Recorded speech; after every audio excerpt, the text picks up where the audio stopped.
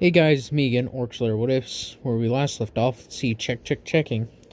I'm going to continue on actually with the What If Clayton Carmine was in RWBY, because I've actually had a lot more ideas with this one recently. So here's how it went with last time we were here. They all got together, Clayton and all their teams, got together and were actually sent on a mission that would typically be rated for a higher like higher. Anyways, sorry for that interruption, but essentially, Triple CB and Madame were all assigned to a single mission to, to come up, like, to make up for the fact they didn't have enough second years, or, well, I'll actually say third year students. And depending on the ranking within the system, because I'm going to say they have rankings for teams Triple CB and Madame are actually very high up there with how great their team is. Like with when it comes down to grading, it comes down individual effectiveness and then teamwork. These sort of things are depicted on separate categories. And they take all of the account like all the categories into account, like how they work alone and how they work together in a team. It was a second it was actually shown that Madame and Triple CB actually had the highest teamwork, like amount of teamwork, like how great they work as a team, shown in like over like for like th- like over a decade. They have had the highest scoring teamwork out of every other team. Now other teams come up with combos with one or like they'll be able to work together. But they don't really have to rely on, nor did they really rely on each other. And Ozpin sees this as a good and bad thing. Because they can't rely on each other, become too reliant on themselves, teamwork can kind of get mixed up. But not with Triple CB and Madame. They have actually gotten down to where it's like a military squad pretty closely, but they mix the hunter esque abilities that they have and he actually really likes that, so he's allowing them to send them on this mission as a test run to see how effective they can really be in open world scenarios. He sent Miss Goodwitch with them just as like a lot of extra backup because she is one of the toughest teachers they got. And if you guys remember, essentially what happened was is that they found that the entire military like military group was wiped out. Like completely. There is nobody left. So essentially what's happening is now they've hunkered down and are waiting. It's nighttime and they just heard roaring and the sounds of horns in the distance. They have taken over essentially the little outpost that they have be in and have guns pointing in directions, and they haven't been able to set up traps. So this is essentially going to be a firefight that they're going to have to survive all night. Now, thankfully, thankfully, they found out that they actually had some ammo reserves here, as Clayton made the uh, torque bows and all that, and they carry their own supply, so they got quite a bit of ammo. But he made sure that the ammo, the ammunition that a lot of them would end up using would be available widely, like very common. So let's just say, for instance, they're shooting like 5.56 or something like that. Something, a very common round that you would see at a military outpost. That it's essentially same weapon, same ammo type that is prescribed to the standard rifle. Just let's just say that. Instead of trying to go into details. That's essentially what they have at the moment. And they got a stockpile of it. So they're confident that they won't run out of ammo qu- as quickly as they probably would have if they just had their own reserves. And Clayton and them are ready, and Miss Goodwitch has been actually equipped with some armor since they're like she pretty much came in what she wears typically and since they don't want to rely like with her semblance they just want to be careful and they all have armor essentially they all have actual armor equipped like when carmine actually was able to talk with them and baird they were able to design the combat armor that everybody wears So it's tough, durable, and can be light. Depending on which variant they're wearing. As they're all waiting there, and they hear the horns going off, Mark is like, Alright, guys, get ready. Alright. As they aim their weapons, as everyone's ready, and unfortunately, they're unable to get the Hammer of Dawn at the moment. I'll explain in a little bit. As essentially they're waiting and waiting, they're like, alright, guys. And then they just start seeing these creatures on. Not on all fours, no. These things are walking upright, and Marcus and them are like, what the. Uh, and they f- ran into one of them in the beginning. Marcus is like, it looks like that wasn't the only one out there, guys. Whew. Sorry. Cole in the mark. Cole is hyped up. He's like, "Let's go, baby! Whoa!" I can't do the woo. I'm sorry. As they're ready in the hype, as Clayton's just like, "Come on, you bastards! I'm ready." As Cynthia's just like, as immediately they hear, they see these things roar a bit, and then they start charging at them. As like, "Open fire!" as immediately rounds start, you start immediately hearing the sounds of gunfire all over. As they think these things are just gonna try to get closer and closer, they actually get fire returned back. I was like, what the? These things have guns! What the heck? I didn't know Grimm knew how to use guns. We didn't either. Keep shooting. So Miss Goodwitch is actually using a Boltok she got she fires like since it's a very high power round, it's gonna go farther, I would say. And she gets actually some of the ones lingering in the back shooting, trying to like snipe, you could say. She shoots and pretty much the Boltok blows up their head. She's like, Whew, it's been quite a long time since I've used a weapon like this.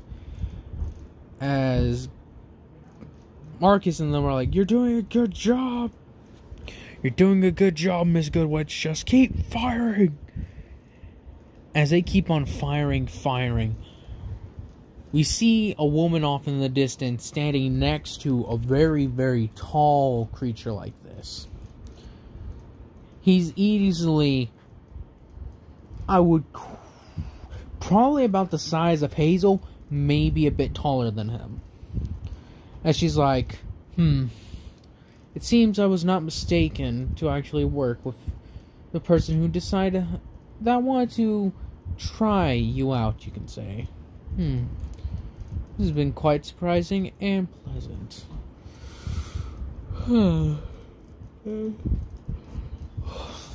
Do not disappoint me. She goes to walk as it has. It's one of these. It's not a woman, but it's like you know those little ball things. As essentially, you can tell who that was. That was Salem. As RAAM is, well, essentially yeah. Sorry for that. But yes, it is RAAM, as most of you could probably tell. As he has a couple of slightly taller, let's just call them Therons at the moment. As they're like, orders! As RAAM is like, slaughter them!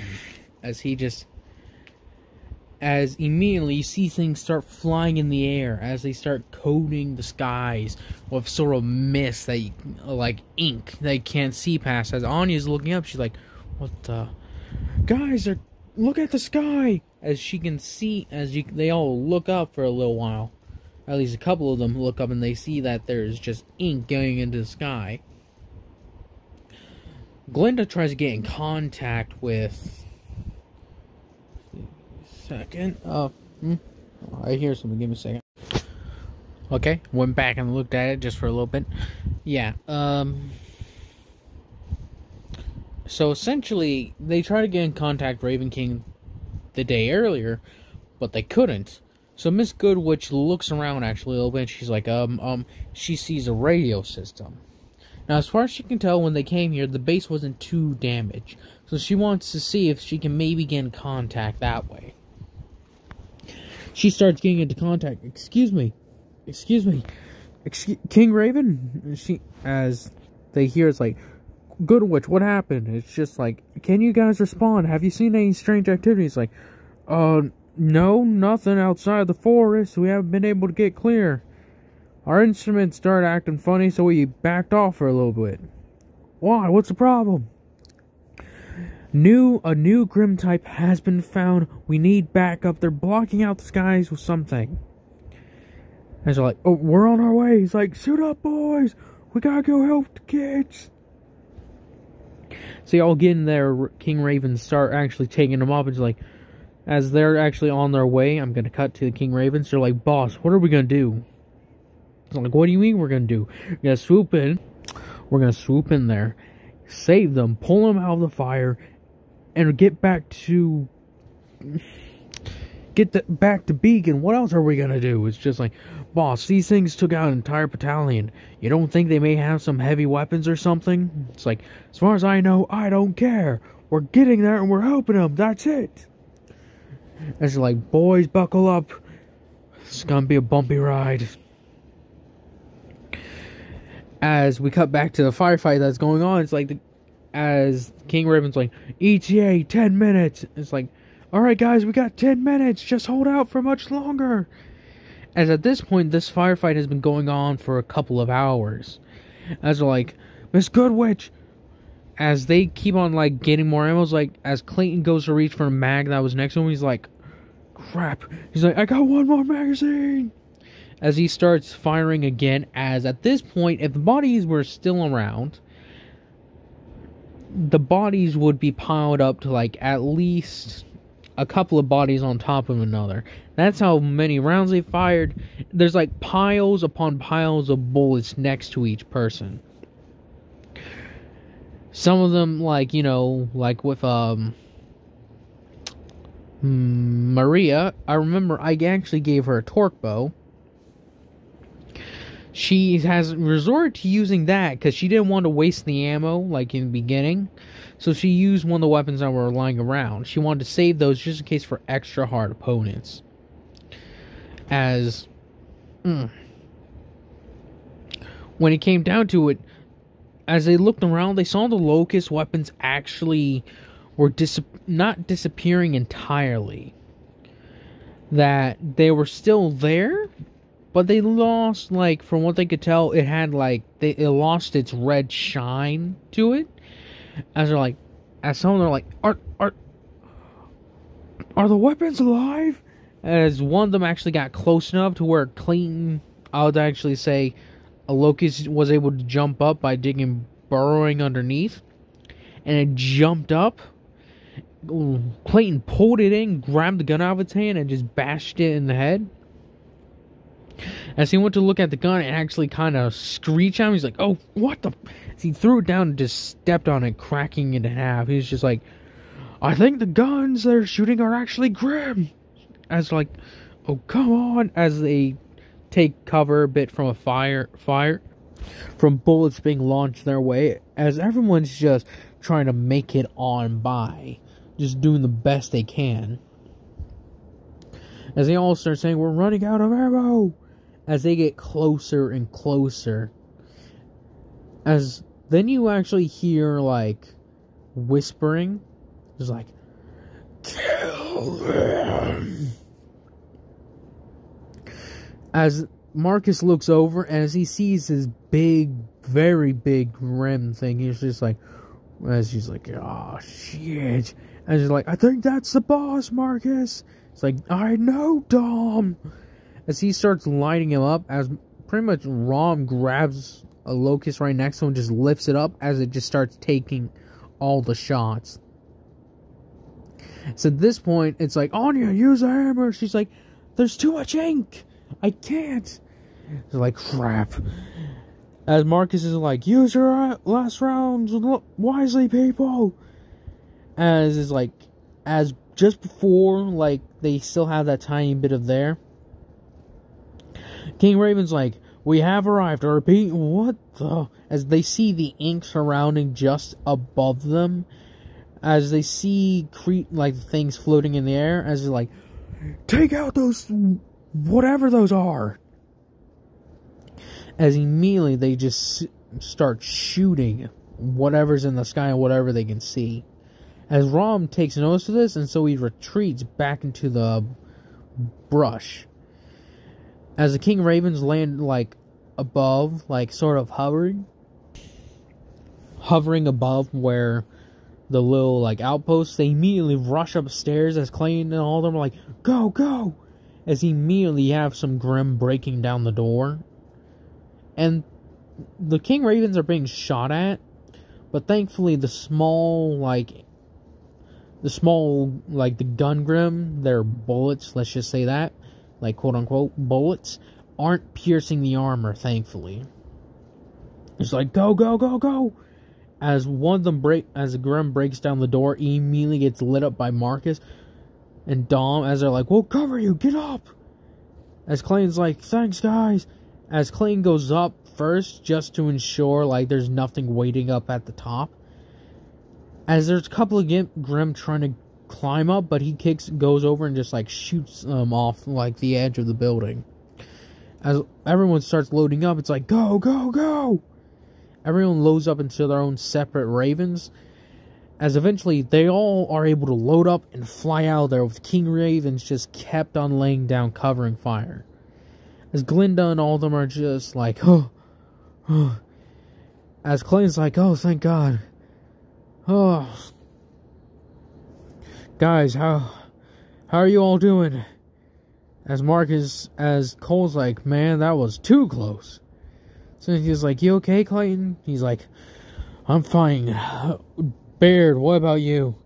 She, as Baird's just like, I'll be honest with you. I thought we were gonna die. It's just like, You always think we're gonna die. He's like, No, but that time I was serious.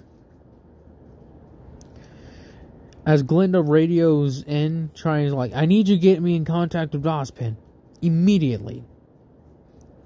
Like, Alright, but you guys have been missing one heck of a day. It's like, excuse me? She's just like, back at Beacon? Whew, a whole heat blow trouble sprung up apparently. She's like, ah, well, we weren't able to get in contact with you for a couple of days. They kept us there, and sure, they launched like little raids, but nothing too big. It's like, yeah, what are those things? Is what the person King Raven 2, I'm just gonna say. He's like, I don't know, what do you guys think? As Clay, as Marcus is like, it's obviously new breed of Grimm. As if we didn't have enough to deal with. But, it doesn't matter. Put them all, we'll all kill them all. We'll wipe them out all the same. So I'll just take a moment to rest as then they get this uh, sort of call from Beacon, I guess. As I hear it, repeat, repeat. Beacon under attack. It's like, what? Grimm have broken, have used the subway tunnels from Mount Glen to break underneath and attack the city. Reinforcements requested. Hunter team students, hunter students, huntsmen, I'll not say hunter, huntsman students are on the way and dealing with situation. Request backup requested. Like Mark is like it's one as Cole's like it seems like it's one firefight into the next. It's like how long do we got till we're there? It's like just one just ten minutes. It's just like as I'm gonna say these King Ravens are going as fast as they can. They're like hauling it. Um hmm know what? I'll say it's been like an hour since flying, just to make it like give him a bit of rest instead of like you know being pulled in and then shoved back in. Sorry about that. I accidentally pressed the pause button. That was very very clumsy of me. But essentially, it's been an hour. They're flying back. As they're making their way to Beacon, they all start like do we even have ammo? As Clayton's like, yeah, it looks like it. As they like start going through, it's like, am I glad that they packed a lot of ammunition on this boat, on these ships. It's like, mm. it's like, yeah, me too. Uh, as Baird's just like, do we have to? It's just like, Baird, all right, Baird, come on. People need our help. It's just like, so as they pretty much get open and get the ammo and all that, they're essentially like, you know what? Yeah, this is gonna suck. As they're all suited up and ready to go, as, as Miss Goodwitch is just like, Students, I hate to do this to you, but yes, you must go straight and straight back forward into combat. So it's like, it's fine, Goodwitch. Well, we thought this might happen. It's what we signed up for, right, guys? As they're like, yeah. As they get above there, they all drop down. As she says that she notices that couple of Grimm are actually going after civilians a little bit farther away from their initial breakthrough. So she actually jumps down first and says, drop them off more at the center of it so that way they can handle things. As they agreed, as they come along the way, they see where a couple of people are actually being targeted by Grimm. And so they decide down and drop drop down in pairs of two. So that way they can probably spread out their max of their efficiency in holding back the Grimm. So it's like two, two, two, two. Clayton, Cynthia, Cole, Baird, Dom, Maria, Anya, Marcus. So some will form a perimeter, each one holding down a street, you could say. They're just shooting and blasting as they use what do they got? Sorry, they use whatever they have at their disposable disposal essentially to hold back the Grimm. Thankfully, Ruby and them are doing work in the middle, so they're able to hold their own pretty well. As they essentially, as Clayton and them run out of ammo more quickly, so then they just start switching to like the chainsaws and the bayonets that they got as thankfully by the end of the day, it is very, very successful. As they all take a moment to just sit down, they're like, this day sucked. It's like you tell you're telling me. As they meet up with Ruby and JNPR, they essentially all sit down and discuss what they saw, and we'll cut to Miss. Oh, not Miss Good just Glenda, and she's talking with Ozpin about the report about the new type of Grimm. As Ozpin's listening to this, he's rubbing his chin. He's like, "I once knew a woman.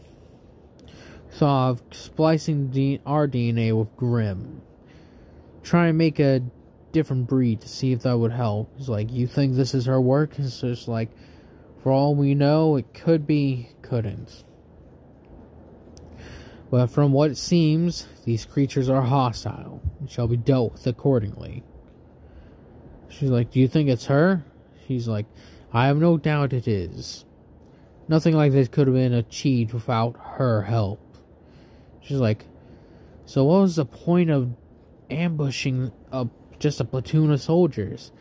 It's like a live fire exercise? Who knows? As far as I know, you but as far as I know, we'll just have to wait and see. But aside from that, how did the team fare well in the situation, given everything that went wrong? As she explains that they performed extremely well under duress, and being able to set up a perimeter, or not perimeter, but hold down a base and hold it for a long period of time, or at least an extended period, she'll say that they did well. It's like, hmm, keep that in mind. As he just sips on his coffee, he's like, Have you talked to any of them about anything they noticed? She's like, Marcus did say he noticed something. He's like, What's that? He's like, They know he noticed a much larger one amongst them. It looked stronger too. And it picked one up and used it as like a pretty much a body, like a meat shield. He takes his chin, he's like, hmm, these Grimm could be intelligent. Anything else is like, their weapons were Grimm as well. Hmm. That could not be good. And, sorry to ask again, anything else again? He's like, they used a tactic. It seems as though that they were blocking out the sky to disrupt communications. But I'm unsure of that because as far we were able to see, it seems that we were still able to get to King Raven. He's like, so it seems like those things are not fully perfected yet. Then that is good. It would be a real trouble, a real hassle if they were able to completely cut out communications. Like, what should we do? Tell Den Osmond. He's like, hmm. Nothing. Nothing. I will make it aware to the Atlas. Not Atlas, but to the council of how we should handle this. It's like, alright, I understand. It's like, hmm. Now. Goodbye, Miss Goodwitch. Get some rest. You need it. She's like, thank you. As that's where I'm going to be ending this one off at. I hope you guys enjoy this. You guys continue to enjoy this. And hmm, nothing at all. Just going to try and incorporate more Gears of War sort of stuff into it. But anyways, hope you guys have a nice day. Hope you guys enjoyed this. Hope you guys continue to enjoy this. Hope you guys have a nice day, nice night, nice life.